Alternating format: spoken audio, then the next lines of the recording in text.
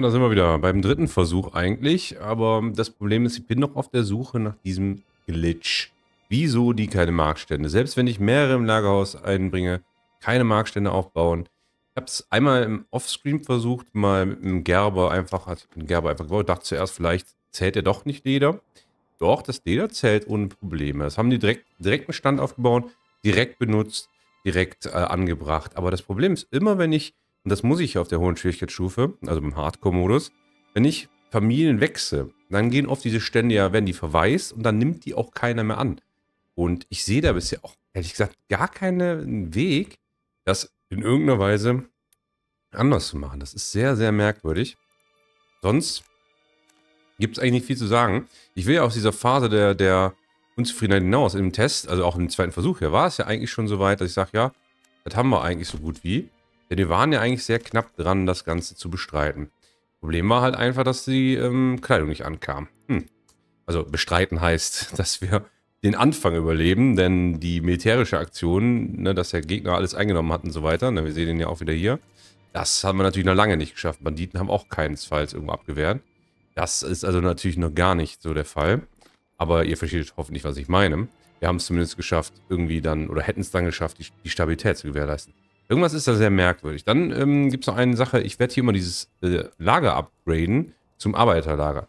Vorsichtig dabei ist aber, dass dann sofort diese, blöde, diese tolle Bedürfnisse anfangen mit Kirche und so weiter.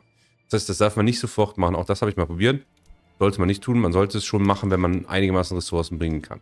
Außerdem versuche ich den Speicher direkt zu bauen, um möglichst Nahrung vom Sterben, äh, Sterben, vom Kaputtgehen abhalten zu können. Denn innerhalb von zwei Tagen oder so ist da sofort das Problem der kaputtgehenden Ressourcen da. Das heißt, ich versuche beides, sowohl Brenner als auch Brot zu retten.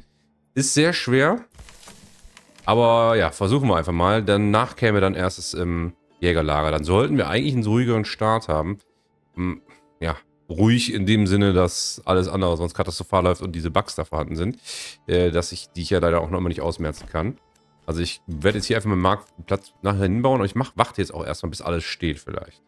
Ja, das hat schon mal ganz gut geklappt. Direkt beides zu rushen. Das hat uns nämlich 20 Brennholz gerettet und 16 Brote. Es sind trotzdem ein paar Sachen kaputt gegangen. Aber ihr seht, wir haben da jetzt deutlich mehr übrig. Bei manchen Durchgängen oder beim R2. glaube ich, hat man eigentlich gar nichts mehr. Das heißt, ich erniedrige hier mal wieder die Leute. Und wie gesagt, ich hatte den, die Sache gemacht, dass ich zwei Leute hier eingelagert habe, weil die ja dann Brennholz und Leder verkaufen sollten. Hat trotzdem nicht geklappt. Ich weiß nicht, ich glaube halt, es ist ein Glitch, aber ich muss halt auf eure Reaktion warten, was ihr dazu sagt. Ob es ein Glitch ist oder ob ihr sagt, ja, nee, guck mal, du hast da irgendwas vergessen. Was natürlich auch durchaus sein kann, weil ich spiele zwar Hardcore, aber das Spiel ist ja gerade raus für Otto-Normalverbraucher, für natürlich mächtige Influencer nicht, aber für uns Otto-Normalverbraucher. Das heißt, ich habe es natürlich in dem Sinne nicht gespielt. Und ich habe es auch nur angeguckt auf ganz normalen Modus. Von daher kann ich auch dazu nicht sagen, hey, das war jetzt besonders stark oder der musste, war besonders unter Druck. Das heißt, es könnte irgendwie da viel ruhiger zugegangen sein. Ihr seht ja, wie schnell das hier eskaliert, wenn wir einmal anfangen, die Häuser zu bauen. Deswegen kann ich das auch damit nicht so wirklich bewerten. Ansonsten kommen natürlich die üblichen Sachen. Wir werden uns alle Leute festfinden, äh, kennenlernen, sage ich mal, die Räuber kennenlernen und werden unser Holzfällerlager bauen. Natürlich, das muss einfach. Wir müssen aber jetzt, da wir das Brennholz gerettet haben, erstmal keinen, und das ist schon mal, glaube ich, ein großer Vorteil, keine Brennholzhütte bauen. Ich glaube, das ist einer der zentralen Vorteile. Das heißt, wir können jetzt schon direkt mal auf Wasser und auf die Sägegrube gehen, damit wir, oder eben auf, genau, das hier, Industrie, den Gerber, damit wir hier halt direkt mal die Ressourcen äh, machen können, also herstellen können. Übrigens, wir müssen also erstmal wieder auf an. Schade auch, dass man nichts passieren kann, wenn man die Ressourcen nicht hat. Ne? Finde ich auch ein bisschen, muss ich ganz ehrlich sagen, mal so hier außerhalb des Hardcore-Spielens sehr nervig, weil ich würde jetzt schon mal gerne das hinstellen können und nicht warten müssen, bis ich vier von diesen Dingen habe. Ja, ich weiß, ihr wünscht euch einen Marktplatz, den kriegt ihr aber erst später. Momentan will ich nur Obdachlosigkeit ticken haben. Vielen Dank. So. Wir sind weiter. Und wir haben es geschafft, hoffe ich, jetzt alles zu versorgen als Stand. Das Problem ist natürlich, ich darf jetzt keine von diesen Familien, das ist ganz wichtig, keine von diesen Familien hier raus bewegen, glaube ich. Sonst bricht der Stand direkt wieder ab. Das heißt, die Gerberei muss jetzt für immer laufen. Das heißt, jetzt muss es fluppen. Ich habe die Kirche aufgebaut. Bevor ich upgradet habe, hier das Arbeiterlager, bevor ich die ersten Hofstätten gebaut habe, ich zuerst die Kirche gebaut, zuerst den Gerber gebaut. Da gab es eine Kurzphase, wo es bei 20% lag. Das, was wir schon kennen. Und ähm, dann hat sich stabilisiert, weil neuer Monat genau da war. Wäre auch schön, wenn man ein bisschen genauer sehen könnte, welche Zeit im Monat war. Man könnte es eigentlich ein bisschen äh, ich sag mal, Min-Max, wenn man sagt, okay, am Ende des Monats baller ich jetzt schnell nochmal die Zufriedenheit runter und dann haue ich sie wieder hoch, weil das ja immer so 30 Tage basiert ist. Jetzt momentan sind wir positiv dabei, haben aber noch die Obdachlosigkeit und die Vielfalt, die gefehlt hat, von letzten Monat dabei. Ja, und natürlich ist unser Kamerad hier wieder ordentlich am Gönnen. Er hat sich jetzt hier unten das Gebiet geholt, beziehungsweise nimmt das jetzt gerade ein, wie ihr sehen könnt. Ich könnte jetzt hier ähm, angreifen. Also theoretisch, habt natürlich gar nichts, von daher nein, tun wir nicht. Und warten eigentlich nur darauf, dass wir jetzt erstmal die Häuser und die neue Stufe haben. Um dann eben irgendwo versuchen zu können, ja, schon mal wirklich in die nächste Phase zu kommen beim dritten Versuch. Ein Meilenstein, guckt es euch an. Wir haben es geschafft. 51 Prozent. Oh mein Gott, dass ich das noch erleben darf. Das ist unfassbar. Und das Arbeiterlager zählt halt als fünf, ähm, also Behausung für fünf Personen, was super cool ist. Das heißt, wir dürften auch jetzt schon neue bekommen. Bitte, bitte, weil wir brauchen dringend Arbeiter. Wir haben nicht keinen in der Holzfällerlager, weil ich halt eine Bauergruppe brauche. Ich darf die drei ja nicht entfernen hier. Ja, und das Jägerlager natürlich auch nicht, weil ich brauche sowohl die Nahrung als auch eben das, ähm, die Häute, um halt das Leder herzustellen.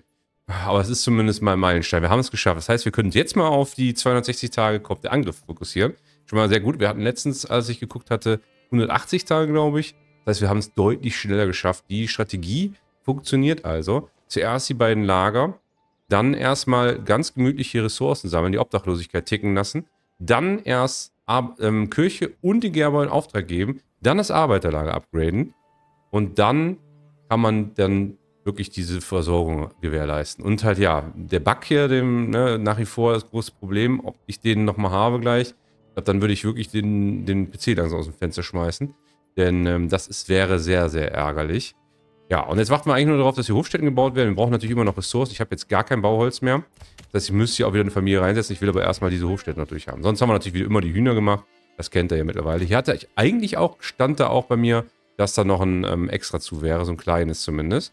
Aber irgendwie hat das nicht funktioniert. Aber ihr seht, 54%, das ist auf jeden Fall ein Meilenstein. Den können wir uns für diese Runde auf jeden Fall schon mal gönnen. Oh, der nächste Meilenstein. Wir haben eine neue Familie, Leute. Wir haben es geschafft. Oh, wir haben endlich eine sechste Familie. Das heißt, wir können das Holzfällerlager, juhu, endlich durchgehend betreiben. Können vielleicht sogar bald ein Upgrade uns auch gönnen. Das ist auch ziemlich gut, wenn wir halt jetzt gleich volle Hofstädte haben. Kriegen wir auch unser Upgrade im Dorf. Ja, ihr könnt ja oben immer nachgucken, welches Dorf, welche Dorfstufe ihr habt. Wir sind momentan bei gar nichts und müssen erstmal fünf Hofstätten bauen. Das ist ja das, was ich schon mal im Video meinte, im Startvideo, dass ihr das auf jeden Fall schnell machen müsst. Auf der Schwierigkeitsstufe ist halt schnell, naja, nicht wirklich so möglich. Aber ja, jetzt haben wir es geschafft. Wir haben sechs Familien und wir haben jetzt auch die fünfte gleich. Und dann sind wir auf jeden Fall Richtung Handelsposten und Waffen. Wir müssen jetzt gucken, dass wir natürlich irgendwo Waffen produzieren, weil unser Angriff oder der Angriff steht vor. Wir müssen uns verteidigen können.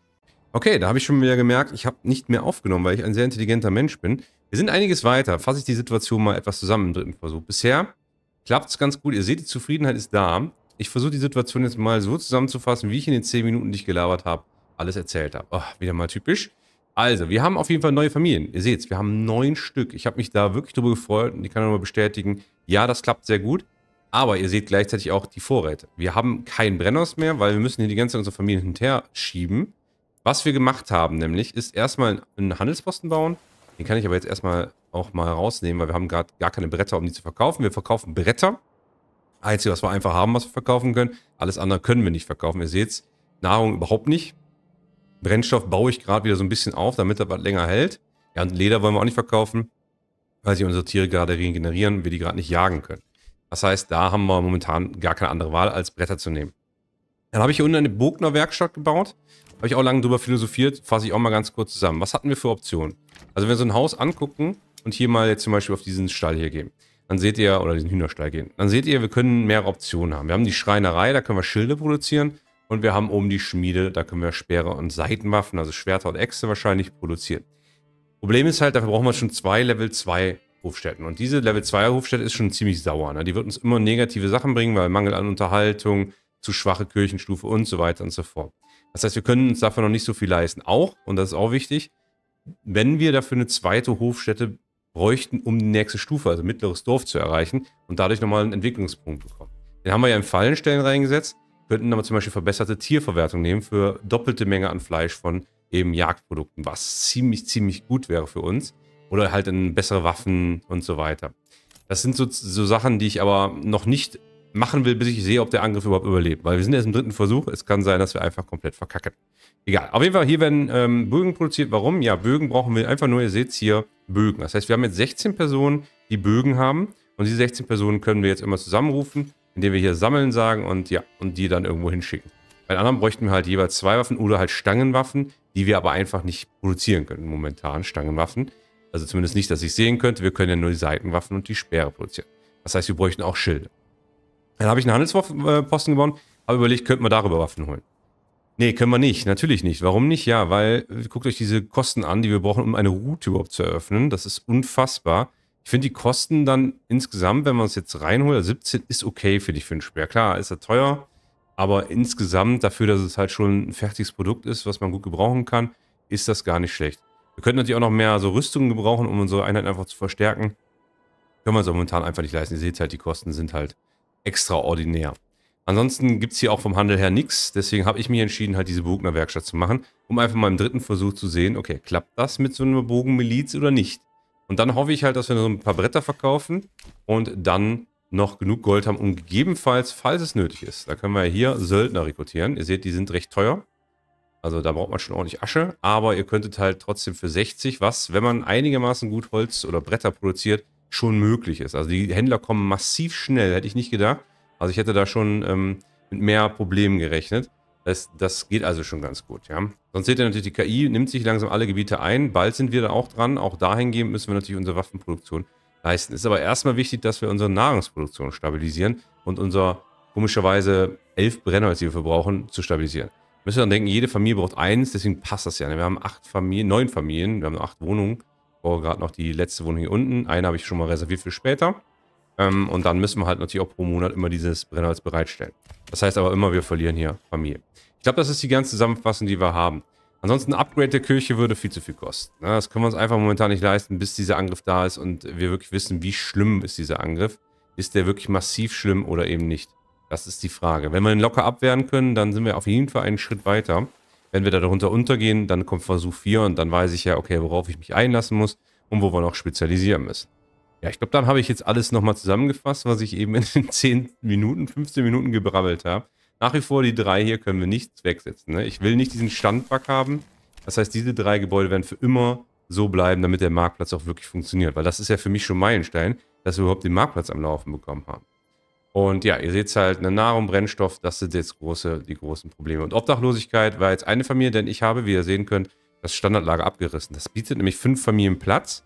Das bringt uns aber eher so einen Fake-Platz, weil die trotzdem als obdachlos gelten, gelten auch wenn es keinen richtigen Abzug gibt. Doch minus vier, aber das ist okay. Glaube ich, zwei pro Familie oder sowas. Auf jeden Fall war das dann okay. Ich baue jetzt die letzte Hütte, damit wir einfach damit aufräumen können.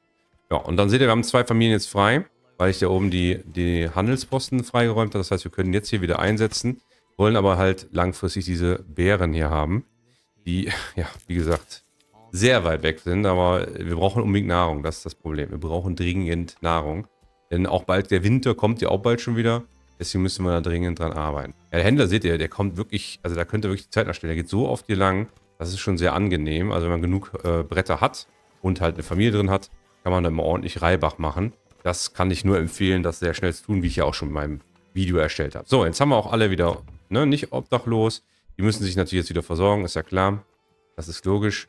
Und ähm, ansonsten sieht es erstmal stabil aus. Wir müssen halt nur abwarten, was sagen die Räuber. Oh, wir haben jetzt eine richtig schöne fette Ladung bekommen. Wir haben gerade 25 Holz verkauft oder Bretter verkauft. Richtig lecker. Mein Gott, ist lecker. Das war gut, ey. Jetzt haben wir 70 Vermögen. Das heißt, im Notfall können wir jetzt auch schon was äh, rekrutieren, glaube ich. Ja, sehr gut. Das heißt, wir könnten jetzt schon hier diese leichte Söldnerinfanterie, leichte Söldner-Sperrkämpfer holen. Damit sind wir eigentlich, glaube ich, vorbereitet. Natürlich möchte ich noch immer, dass es besser wird. Nahrung ihr noch immer Probleme oder Brennstoff vor allen Dingen. Wir haben jetzt unser gigantisch weit entferntes ähm, Bärenlager hier im Nirgendwo. Haben wir durch. Ja, trotzdem bringen die natürlich Nahrung rein. Ne? Das Problem ist halt, jetzt haben wir wieder zu wenig Familien. Ne? Ihr kennt das Prinzip. Wir haben nämlich jetzt wieder eine hier zu wenig. Aber ansonsten stabilisiert sich das schon mal ganz gut. Bald müssen die Jäger auch mal wieder loslegen können, denn jetzt sind wir bei 10. Ähm, müsste also dann auch mal möglich sein, dass wir da was hinkriegen. Ich schmeiße dann immer jetzt hier die, die Familie wieder raus, schmeiße die dann hier wieder rein, sodass wir hier tatsächlich immer, wenn wir so 20 Bretter haben, die wieder verkaufen können für 40, 50, Hier waren es ja 50. Das war immer so ein bisschen dazugekommen, um dann eben notfalls hier nochmal was zu ergänzen zu können. Ne? Das ist ja tatsächlich langfristig das, die Idee. Manchmal habe ich, ich habe zum Beispiel diese Hofstätte, da bin ich mir 100% sicher auch mit so einem Hinterhof gemacht. Irgendwie ist da nichts angekommen. Man muss ja auch nicht bei jedem sein. Ich weiß, eigentlich gibt es da keinen Nachteil für, aber hat halt einfach nicht geklappt. Ähm, ja, aber hier könnte man jetzt zum Beispiel schon wieder einen Hühnerstall bauen, was natürlich cool wäre. Gemüsebeet, sodass wir da einfach noch ein bisschen Variation haben. Wir haben nämlich jetzt, glaube ich, auch gleich unser erstes Gemüse, denn jetzt ist Erntezeit. Wir haben ja jetzt Herbst. Das müssten eigentlich die ersten, ihr seht schon, die sehen recht saftig schon aus. Müssten eigentlich auch die ersten Karotten kommen. Also Versuch 3, natürlich muss ich wohl sagen, davor habe ich ein bisschen umexperimentiert wegen des Bugs hier, der nach wie vor in meinen Augen existiert. Weil hier diese drei Sachen, ich kann die nicht umlegen. Aber der, der, läuft gut. Also jetzt ist halt die Frage, was passiert militärisch. Ne? Also das war jetzt alles ja Geplänkel. Ihr seht ja, die KI nimmt ein und die Banditenlager werden auch mehr. Wobei andererseits die, die KI nimmt die ja eine Gebiete. Ähm, wobei die Banditenlager scheinen da drin zu bleiben. Ich dachte eigentlich, die würden dann auch verschwinden.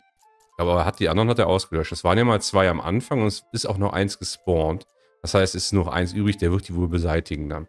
Das heißt, da müssen wir eigentlich gar kein Problem, also gar kein Problem haben denkt eben dran, diese Banditenüberfälle kommen aber eben aus, ja, sagen aus dem Nichts heraus.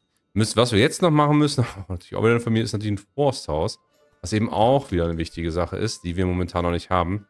Sollten wir aber auch schon mal setzen und dann, ihr wisst es, das Hin- und Herspiel machen zwischen diesen drei Gebäuden hier, damit das in irgendeiner Weise funktioniert. So, wir haben jetzt noch einen Punkt, den ich grad, der mir gerade aufgefallen ist. Wir haben jetzt unsere Miliz maximal, wir haben nämlich nur 18 Männer. Das heißt, wir können auch nur 18 Einheiten rekrutieren in unserer Miliz. Mehr geht einfach nicht. Ich hoffe, das reicht dann auch. Ähm, wir könnten dann eigentlich die Kriegsbögen verkaufen. Ich habe gerade mal reingeguckt. Wir könnten ja hier Kriegsbögen für 5 verkaufen. Wir haben 33 nämlich. Das heißt, wir haben äh, 15 so viel. Das heißt, wir könnten ja sagen, okay, ich will den auf 15 den Überschuss haben und der Rest kann verscherbelt werden. Die bringen 5. Die Frage ist nur, und das muss ich sagen, gefällt mir beim Spiel schon mal nicht. Denn wie viel kostet ein Bogen? Ich gehe jetzt mal davon aus, natürlich, ne, jetzt können wir sagen, er sagt ein Korinthenkacker, aber ich gehe jetzt mal davon aus, ein Brett, ein Bogen. Aber ich weiß es halt nicht. Ne? Es müsste mir hier angezeigt werden, ganz konkret, ja, ganz konkret, wie viel kostet ein Bogen. Offensichtlich denke ich ein Brett, ein Bogen, aber denk mal an schwierigere Güter. Da müsste man ja schon genau wissen, wie viel das kostet. Das heißt, wir würden ein Brett in fünf umwandeln, statt zwei Bretter. Ne, ein Brett in zwei. Ist besser, ist halt nur die Frage, ob wir es nachher dann nochmal vielleicht in einer anderen äh, Sicht brauchen. Hm, weiß nicht. Also ob man das... Also dann würden wir das hier halt abstellen, kein Handel erstmal und würden dann das hier aktivieren. Das ist natürlich 60 Gold oder auf Regionsvermögen. Was wir halt das Problem haben, ich glaube, ich würde erstmal den ersten Angriff abmachen. Dann würde ich mich darüber entscheiden, weil ich will halt für Notfall einfach noch eine Söldner, ähm, ein Söldnerbataillon anwerben können. Ihr seht die haben sich auch schon wieder leider verändert. Das heißt, wir haben jetzt nur noch einen Briganten und schon wieder halt Söldner, Bogenschützen oder Bogenschützen. Wir haben ja an sich schon genug äh, Bogenschützen. Und das Problem ist auch, die kommen auch immer leider irgendwo komisch an. Zum Beispiel, wenn jetzt in Nusslur ankommt, weiß ich halt nicht, ob der mich jetzt dann irgendwie direkt angreift oder sowas. Oder ob ich dann tatsächlich auch mit denen arbeiten kann. Werden wir natürlich sehen, sonst ist Versuch 3 halt dann wieder kaputt. Dann müsste man eine andere Strategie überlegen. So, der Moment kommt gleich. Neun Tage der Banditenangriff, Bambiten, ja, Banditenangriff kommt. Ja, bin mal gespannt. Bin, bin gespannt. Wir haben genug Geld, um uns Söldner zu holen. Die spawnen allerdings dann irgendwo anders. Wir haben 18 Bogenschützen. Frage ist, wie viel kommt da jetzt wirklich? Das ist ja die Frage. Ich meine, dass sie, wenn die jetzt kommen, auch nochmal laufen müssen. Also es kann sein, dass das auch noch länger dauert. Vielleicht haben wir Schwein. Dann müssen wir nicht direkt damit reagieren. Wir haben 73 Regionsvermögen. Ich kann momentan jetzt noch nichts ähm, wirklich an äh, Brettern wieder produzieren weil wir eben immer wieder hin und her switchen. Das habe ich jetzt schon mehrmals erklärt. Äh, den Fürster haben wir jetzt am Laufen. Ihr seht, da ist natürlich alles hier wirklich brutal abgeholzt. Wir dürfen auch hier nicht hingehen, das ist wichtig. Die Tiere dürfen nicht verschreckt werden. Deswegen müsste ich, wenn das Holzverlager zum Beispiel hier hinsetzen, das ginge auch, dass ich einfach sage, okay, komm, weißt du was, leg dich, setz dich erstmal hier hin. Dann würde ich den Fürster natürlich wieder frei machen, was ganz gut wäre. Okay, hier geht es aber irgendwie nicht. Aber hier könnten wir es setzen. Das ist noch immer in meinen Augen ähm, gut. Ich habe schon mal die Brennholzhütte auch schon hier umgesetzt. Dann wird das noch einigermaßen passen. Wir könnten auch hier oben hinsetzen. Allerdings auch da ist wieder die Gefahr, nah an den Tieren zu sein. Aber gut, lasst jetzt nicht zu viel labern. Wir wollen jetzt die Action sehen. Ich weiß, dass ihr wollt. Nach 17 Minuten muss man jetzt auch mal sehen, was passiert. Das war viel zu viel Stabilität. Das heißt, jetzt kommt es zum Angriff. Noch einen Tag. Und da ist er. Die Räub eine Räuberbande treibt die Unwesen. Aber hier ist jetzt irgendwie gar nichts gekommen. Oder die kommen noch. Aber eigentlich stand da gerade Mission abgeschlossen. Vielleicht bedeutet das, dass sie jetzt einfach kommen und die Zeit bis dahin vorbei ist. Ich habe keine Ahnung. Das ist jetzt äh, ein bisschen antiklimaktisch. Ich habe keine Ahnung, warum das jetzt passiert ist. Oder ob sie vielleicht doch gleich kommen und äh, ich auf einmal komplett überrascht bin. Kann natürlich auch sein, aber kommt mir ein bisschen komisch vor. Ansonsten seht ihr, wir haben uns nahrungstechnisch vor allem richtig gut stabilisiert. Die Beeren sind natürlich extrem hilfreich. Ihr seht aber, das sind nur die Beeren. Ne? Hätte ich die nicht gesammelt, wären wir eigentlich schon tot, kann man sagen. Also ohne Beeren wäre hier gar nichts los gewesen. Und jetzt geht auch der Winter los. Das heißt, unser Brennstoff wird natürlich wieder doppelt so äh, viel verbraucht. Das heißt, wir müssen hier wieder ordentlich sammeln. Und das ist natürlich auch mal so eine Schwierigkeit.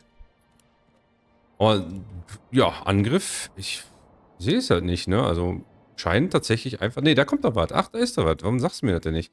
Sehr merkwürdig. Also 18 Leute sind es. Natürlich irgendwie Pöbel. Das ist klar. Effektivität ist aber 107 Prozent. Ähm, wir haben auch recht gut ähm, Moral, das jetzt schon. Ich weiß noch nicht, wie genau, ob das jetzt wirklich bei 107 wäre, wenn wir 107 Zustimmung hätten. Dann haben wir ein Problem, weil dann haben wir massiv weniger. Ihr seht, das ist so ungefähr wie dieses Banditencamp hier hinten. Ähm, müssen wir natürlich auch immer mal auslöschen, aber dafür müssten wir uns halt wieder Söldner rekrutieren. Was wir aber auch bald können, in meinen Augen, wenn wir uns das Geld hier über die Bogen, wie ich das jetzt plane, wiederholen, sollte das möglich sein. Aha. Na gut, da kommen sie ja doch noch. Ich habe schon gedacht, das wäre ein bisschen komisch gewesen. Äh, der Arbeitsbereich ist leer. Okay, hier ist leider jetzt Ende im Gelände. Das ist doof, aber gut, hat uns jetzt erstmal über den Winter gerettet. Von daher passt das doch. Dann können wir nämlich auch hier nochmal ein bisschen was mehr ein ähm, abbauen. Aber ich würde das wahrscheinlich erstmal hier umsetzen, zwar hierhin. Auch wenn das ein bisschen nervig weit ist, der Platz. Aber wir würden eben meistens erstmal nur Hofstätten bauen, von daher soll es passen. Oh, ich sehe aber hier eine Bewegung von unserem ähm, Gegner. Scheint tatsächlich diese, diese Banditen abfangen zu wollen. Kann das sein? Ja, aber komisch, ne? Also ich meine, das habe ich bei ähm, Steinmann jetzt zum Beispiel nicht gesehen. Ja, dann müssten wir tatsächlich einen neuen Versuch machen, ohne dass uns jemand hilft, weil das wäre schon ein bisschen langweilig. Dann müssen wir die KI doch abschalten, wie das ja ursprünglich auch ge äh, gedacht war. Außer die greifen uns jetzt an. Dann haben wir natürlich ein Riesenproblem, weil die bringen uns auf jeden Fall um. Aber es sieht so aus, wenn sie sich straight halt auf die Banditen zu bewegen würden. Wir müssten sie aber auf jeden Fall fixen. Warum sollte er mir jetzt helfen? Ich meine, ich bin ja eigentlich sein, in Anführungszeichen, Gegner, der ja sein Gebiet dann irgendwie erobern will. Von daher sollte mir ja nicht helfen. Das ist ja sinnlos. Das würde ja kein, keinerlei Sinn ergeben. Von daher müssten sie das auf jeden Fall dann nochmal ändern. Dann schauen wir uns den Clash da mal an, der jetzt überhaupt nicht bei uns ist. Ihr seht, die Bogenschützen, leichte Söldnerbogenschützen, stellen sich langsam aber sicher auf. Okay, sie versuchen zumindest. Und jetzt geht es los. Sie schießen schon mal. Wir können mal sehen, wie effizient Bogenschützen sind zumindest mal. Das finde ich doch eigentlich ganz gut, dass wir das mal so ein bisschen sehen können. So, was machen die Bogenschützen? Okay, die ziehen sich jetzt einfach zurück. Kein gutes Zeichen. Das sind 36. Die haben keinen Schaden bisher gemacht, aber ein bisschen Schaden. Obwohl, das ist die Energie, ne? Und oben ist die Moral. Ja gut, die haben ein bisschen Moral verloren, aber ich hätte jetzt schon erwartet, dass sie die irgendwie mal, naja, töten. Weil wir hätten jetzt auch nur diese Armee nur noch kleiner. Das heißt, wir hätten wahrscheinlich ein paar Probleme damit. Wenn ich das jetzt mal so sehe. Ihr seht jetzt hier, jetzt gucken wir mal, wie schnell denn die Bogenschützen einer auf die Mütze bekommen ihre hohen Effizienz sollten die bewahren. Oh ja, oh Gott, wir hauen die ja richtig um. 32, vier sind schon gestorben. Beim Gegner noch gar nichts. Weiß nicht, ob man Hit and Run machen könnte. Haben schon fünf gestorben. Gut, Eff Effektivität ist natürlich erbärmlich bei unserem KI-Gegner. Muss man sagen, okay, jetzt haben sie einen umgebracht, aber haben schon sechs verloren. Das wäre natürlich für uns eigentlich ein Untergang, kann man sagen. Ich weiß auch nicht, wo der Nahkampfkontingent hin ist. Der hatte ja eben, ah da, der kommt ganz gemütlich dahin. Ach ja, lasst euch Zeit, ne, lasst euch Zeit, kein Problem. Da kommt, nee, Achso, sie sind, ach, sie sind schon abgehauen. Okay, die fliehen aber relativ schnell. Sind noch 1, 2, 3, 6, 9 übrig. Die Hälfte wird getötet, aber auch 12 Bogenschützen. Gut, ich meine, es sieht aus, wenn wir sie auf jeden Fall in die, äh, in die Flucht schlagen könnten mit unserer Strategie. Problem ist natürlich, jetzt bin ich eigentlich so gut wie gezwungen, nochmal neu zu starten, weil das ist natürlich nicht der Sinn. Ich will jetzt nicht, dass der hier irgendwie... Ah gut, er wollte gerade Waldbrand einnehmen. Ich glaube, es kann sein, dass es einfach reiner Zufall war. Und er tatsächlich einfach nur das letzte Gebiet, was wir hätten haben können hier um uns herum einnehmen will. Kann ich jetzt nicht genau sagen. Ne? Müssten wir beim nächsten Barbarenkampf dann nochmal abwarten. Hm, schwierig. Schwierig zu sagen. Schwierig zu sehen. Ja gut, dann haben unsere Milizen erstmal nichts zu tun gehabt. Aber wie gesagt, wird wahrscheinlich dann deswegen sein, weil er hier das Gebiet wieder einnimmt. Jetzt kommt natürlich die, ähm, ja gut, Vorräte ist klar, das kennen wir. Das Banditencamp hat uns hier was geklaut. Das ist jetzt nicht das Problem. Ja, und wir müssten halt das hier besiegen, um halt in irgendeiner Weise sagen zu können, wir können die KI-Gegner da zurückziehen. Der wird auch irgendwann uns angreifen, so ist das nicht. Das heißt, natürlich wird das dann härter, aber ich hätte natürlich jetzt schon so einen kleinen Clash mir gewünscht, um ehrlich zu sein. Na gut, wir sollen die positive Seite sehen. Mal gucken, ob ich da nochmal neu anfange und ohne Kriege. Wir müssten eigentlich noch einen Banditenangriff abwarten. Mal gucken, ob ich das dann offscreen mache. Weil ich fände es so ein bisschen zu schäbig. Aber was wir jetzt auf jeden Fall machen würden, so oder so, wenn wir diese noch nicht hätten gebraucht, wäre jetzt hier diese Handelshute einzurichten. Denn ihr seht gleich mal, wie viel Bogen wir haben. Wir haben Bögen, wir haben 53. Das heißt, wir sollten auf jeden Fall diese Handelsroute einrichten, denn alles andere wäre halt komplett wahnsinnig, um ehrlich zu sein. Also das wäre wirklich komplette Verschwendung von allem, denn wir brauchen dringend die Kohle. Das heißt, wir würden jetzt einmal hier schön reinratzen und gehen auf Handel, gehen auf die Bögen und sagen einmal, ja, okay, wir wollen exportieren und zwar wollen wir, ja, wie viel lassen wir über? 18 haben wir, sagen wir mal 20 erstmal. Momentan kommen keine neuen Familien, also sagen wir 20 wollen wir übrig lassen. Und das heißt, wir würden 3, 34 verkaufen. Das bedeutet, wir würden fünfmal äh, 34 bekommen. Also 150, oh Gott, das ist spät, ich kann nicht mehr so rechnen. 150 und nochmal 20, also 170, genau, wusste ich natürlich direkt, ist ja ganz klar. Und das ist natürlich ein enormer Vorteil. Wir können jetzt gucken, ist das das ja schon? Äh, einer von den beiden muss es ja sein. Könnt ihr euch mal Kohle angucken, die ja jetzt kommt. Schauen wir uns doch mal ganz genüsslich an, wie er jetzt ein kleines Pferdchen da rein bewegt. Und? Ist er das? Oder ist es ein anderer? Jetzt sag ich, das ein anderer. Ah, nee, ach, wir haben ja noch gar nicht eingelagert. Okay, ich schaue euch dazu, wenn eingelagert wurde. So, jetzt gucken wir nochmal zu. Ganz spannend, weil wir haben es ja nicht eben schon mal gesehen. Okay, ich schicke noch ein bisschen nach vorne mit seinem Pferdchen. So. Wir haben noch nicht alles eingeladen, also erwarten wir jetzt nicht so viel Geld, aber 37 sind schon mal drin. Das, obwohl, das müssen sie doch sein. Wir haben 7, ja doch, müsste. Gut, wir haben nicht schnell gemacht. Und jetzt guckt euch das Geld an. Guckt es euch an. Ja, ich, du, ja, du, warum nicht? Das, warum, was? Okay. Ähm, mh, hm, Okay, also wir haben gerade irgendwie den Moment der antiklimaktischen Folge. Warum hast du nichts gekauft, mein Freund? Was ist dein verdammtes Problem? Es kann sein, dass das der letzte Bretttyp noch war. Ich habe mich jetzt auf keinen Handel gedrückt. Dann gehen wir doch einfach mal auf die Waffen und gucken mal. Wir können ja immer schauen. Wo ist der Mensch? Da kommt er. Natürlich, wusste ich. Das ist der mit dem ähm, schönen Jägerhut. Das ist ja ganz klar. Also jetzt aber. Wirklich. Vertraut mir. Ich bin George R. R. Martin. Ich lasse euch einfach nur warten. Ich sage euch jetzt gleich. Jetzt gleich passiert es. Gleich kommen die Drachen. So, und jetzt schauen wir uns das mal an. Jetzt aber. Guckt euch das Geld an. Oh, bitte, wenn das jetzt schon wieder nicht kommt, dann, dann kriege ich echt einen Rappel. Aha. 196 Regionsvermögen. Also die Bogenstrategie finde ich schon mal ziemlich gut, denn jetzt könnten wir sogar theoretisch den KI-Gegner angreifen. Wir könnten uns jetzt hier die dicksten Garnisonen holen oder äh, Söldner holen und tatsächlich den Gegner komplett aus den Leben klanudeln. Denn ihr seht, wir haben schon wieder 21. Wir haben also schon wieder einen Surplus, also ein Mehr und könnten jetzt schon wieder ballern. Wenn wir jetzt also einen richtig regelmäßigen Brettervorrat anlegen könnten, was wir momentan einfach nicht können, weil wir nicht genug Familien haben, ihr kennt das Prinzip, dann äh, könnten wir tatsächlich hier massiv reich werden. Und dieses Geld können wir natürlich wieder, denkt dann, refinanzieren, um halt auch bessere Söldner oder bessere Milizen zu produzieren oder halt um andere Handelsrouten einzurichten. Zum Beispiel sagen, hey, weißt du was, ich habe gar keinen Bock mir selber irgendwie Essen zu produzieren. Das heißt, ich könnte mir einfach hier Brot kaufen, wobei 14 schon verdammt teuer ist, um ehrlich zu sein. Aber ihr versteht, was ich meine. Man könnte also theoretisch auch hier nochmal was upgraden, man könnte sich auch Holzteile holen. Und wir könnten jetzt auch mit diesem Handel, den wir haben, tatsächlich sagen, okay, dann holen wir uns Schilde, kleine Schilde und holen uns Speere. Die sind natürlich schon teuer, aber man bräuchte jetzt auch nicht 100 Stück. Wir haben ja jetzt auch nicht so viele Männer, wir bräuchten ja einfach noch viel mehr Männer, damit das überhaupt in irgendeiner Weise wirklich funktionieren könnte. Aber das wäre jetzt zumindest die Idee. Sieht ganz gut aus, muss ich sagen. Die Frage halt nochmal, okay, wie sieht's aus mit dem, mit dem anderen Herrscher? Würden wir da jetzt sagen, okay, nee, wir müssen da jetzt schon irgendwo ohne den KI-Gegner spielen oder ist der KI-Gegner tatsächlich der bessere Gegner? Und das war reiner Zufall, dass die Banditen uns nicht angegriffen haben oder er die Banditen angegriffen hat. Das wäre jetzt die Option. Ähm, das würden wir... Hm, müsste ich jetzt, wie gesagt, mal offline gucken. Wenn sich da jetzt sonst irgendwas anderes ereignet, kann ich immer reinschalten. Aber ich würde eigentlich mal gerne sehen, ob diese Banditenherden, die ja jetzt eigentlich schon wieder eigentlich sich anmelden sollten, müsste aber im Dezember jetzt irgendwann passieren, ob die dann wieder abgewehrt werden von dem. Wobei er halt, wenn ihr sehen könnt, hier eigentlich alles an der Karte hat. Er hat ja schon fünf Gebiete. Also innerhalb von einem Jahr hat er sich fünf Gebiete einverleibt. Wenn wir die jetzt erobern wollten, müssten wir sowieso einiges tun.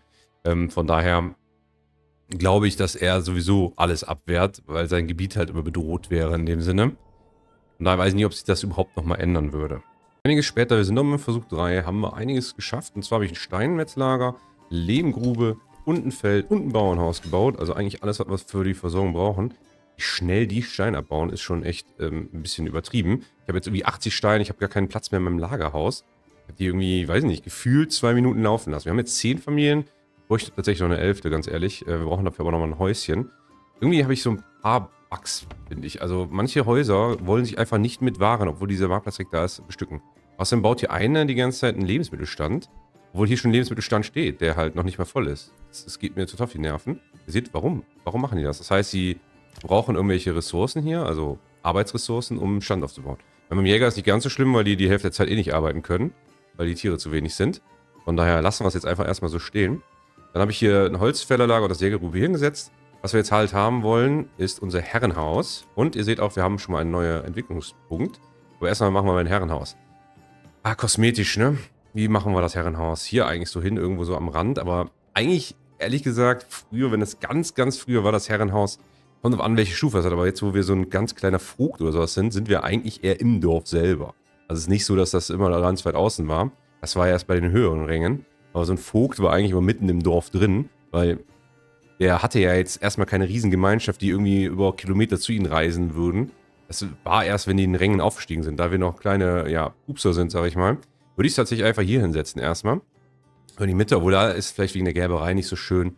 Könnten wir einfach auch hier neben dem Bauernhaus setzen, fände ich auch nicht schlecht, weil das auch ganz hübsch ist neben dem Feld. Äh, Lehmgrube übrigens leuchtet die ganze Zeit so merkwürdig. Naja, ignorieren wir mal. Äh, können wir gleich mal gucken. Ich gehe mal ganz kurz auf ein, was wir hier bei der Stadt nehmen würden. Also wir haben mehrere Optionen. Wir könnten halt mehr Holze sammeln. Ist momentan nicht so das Problem. Kann natürlich sein, dass es noch zum Problem wird. Dann haben wir hier diese Handelsrouten um 25 runtersetzen. Problem sind aber eher die Kosten an sich, die ja jedes Produkt trägt.